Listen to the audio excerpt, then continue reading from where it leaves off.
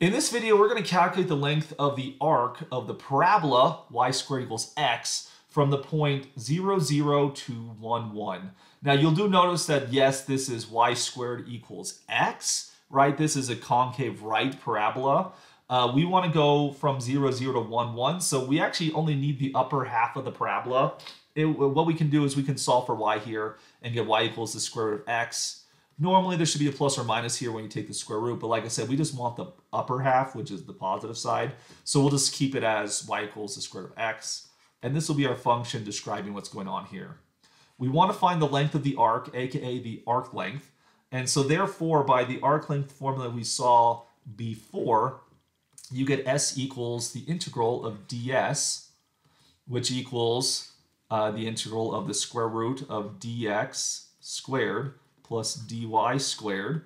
And you can go from there. We saw previously that if you factor out the dx squared in this equation right here, this will end up with the integral of the square root of 1 plus f prime of x squared dx. You can integrate this thing with respect to x if you want to, right?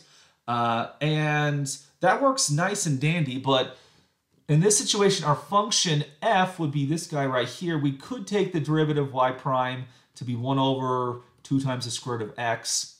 We could plug that in there. That would be perfectly nice and kosher, but let me mention to you that I keep on throwing this formula out here because it's actually quite versatile. We went from here to here because we factored out the dx squared. Well, what if we factored out instead the dy squared? What if we did that instead? Um, what would happen is your integral would look something like the following. If you factored out the dy squared away from the dx squared, you'll get a dx over dy quantity squared plus 1. You then get a square root of dy squared, which this thing would simplify to be the following. You're going to get 1 plus g prime of y squared dy. That is to say, you could integrate with respect to y just as easily as you could integrate with respect to x. And because of that, you can actually make a choice. Do I prefer to integrate with respect to x or do I prefer to integrate with respect to y? And in this option here, if we take y to equal the square root of x, they're going to have to deal with a 1 over 2 square root of x in, inside of a square root. So it's a nested square root. It's like, hmm, I'm not sure I like that one so much.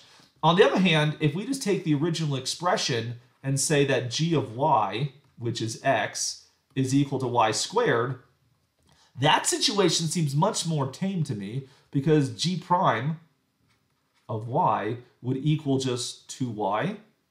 And again, that, that, that doesn't seem so horrible whatsoever.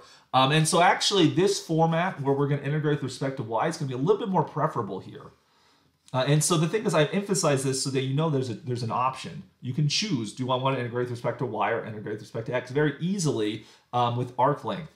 We ran across this problem when we dealt with volume problems in the past, where we had two methods: the washer method and the shell method. And the reason we had two methods is so that we could always integrate with like with respect to x or y. You know, we could choose the variable that was best for the situation.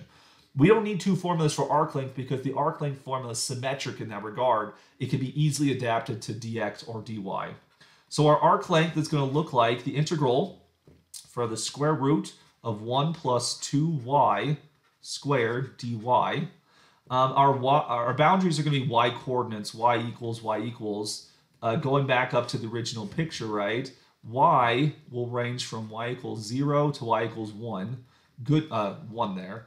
Good news here, if you accidentally wrote the x coordinates, you would be right for the wrong reasons. That's that's still correct, you know. I guess that I guess that's good news, right? So we're going to integrate from 0 to 1 right here. Uh, so rewriting this integral, because uh, we can square the 2y, integrate from 0 to 1, the square root of 1 plus 4y squared dy. And we've seen integrals like this before. This is actually one where a trigonometric substitution might be quite appropriate here. Uh, we could set, because uh, notice we have a sum of squares inside of a square root. Uh, we could set 2y, 2y equal to tangent theta. Uh, this would then tell us that 2 dy would equal secant squared theta d theta. So solving for dy, we get dy equals just 1 half secant squared theta d theta. And we also know that the square root of 1 plus 4y squared is going to equal a secant theta. Uh, so make those substitutions. You can draw a triangle to help you out on this last one if you want to. But using those substitutions, we're going to see that we're going to integrate the square root of 1 plus 4 y squared becomes a secant theta. Uh, we then get, for dy, 1 half secant squared theta d theta, like so. If we change the bounds as y ranges from 1 and 0, what's the corresponding theta values? We'll plug this into this equation right here. Uh, when y equals 0, the left-hand side becomes 0, so we get tangent of 0. Arctangent, so sorry, tangent of theta equals 0. The arctangent of 0 gives us a 0. So that's nice right there. On the other hand, if you plug in a 1 into this equation right here, uh, you're going to get just a 2 on the left-hand side. And so when does tangent theta equal 2? That one might not come to us immediately. That's just going to be arctangent of 2.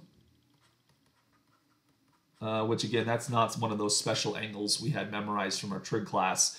Uh, for the sake of brevity, I'm just going to call this arc arctangent of 2. I'm going to just call this alpha for short. We'll know that it's arc it's arc, arc arctangent of 2, but just for, again, simplicity's sake, our integral range from 0 to alpha right here. So notice what our integral has now become. Uh, this thing is now 1 half the integral from 0 to alpha of secant cubed theta d theta. And so we can proceed to compute this antiderivative like we've done in with our trigonometric integrals in the past.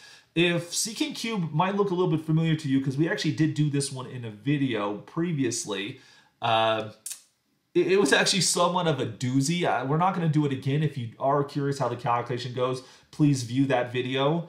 Uh, but we're just going to use the conclusion we had from that previous calculation uh, that the antiderivative of secant cubed um, is going to be 1 half times secant theta tangent theta plus the natural log of the absolute value of secant theta plus tangent theta. Oh boy, ran out of space there.